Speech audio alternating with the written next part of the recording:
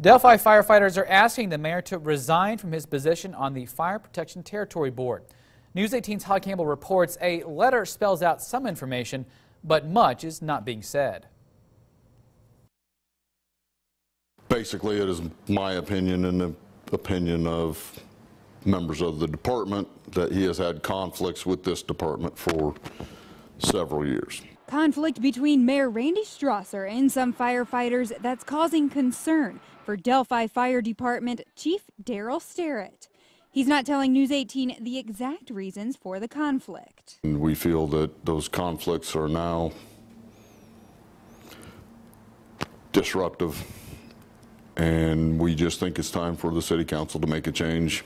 The change Sterrett and other members are looking for is the removal of Mayor Randy Strasser from the Fire Protection Territory Board. The board overlooks finances for three townships and the Delphi Fire Department.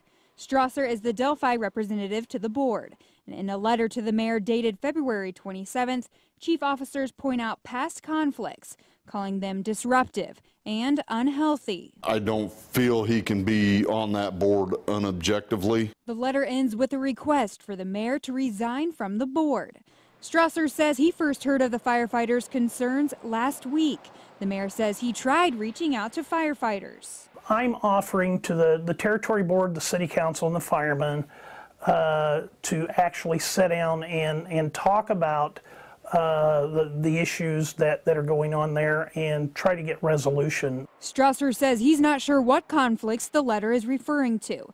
But until the two meet face to face, Strasser says he isn't going to speculate. Until I have a chance to sit down and talk to the firemen and, and everybody else that's involved in this, I, I don't think it does me any good to, to speculate or, or, or do the, the process any good. Strasser says firefighters have not accepted his invitation to meet.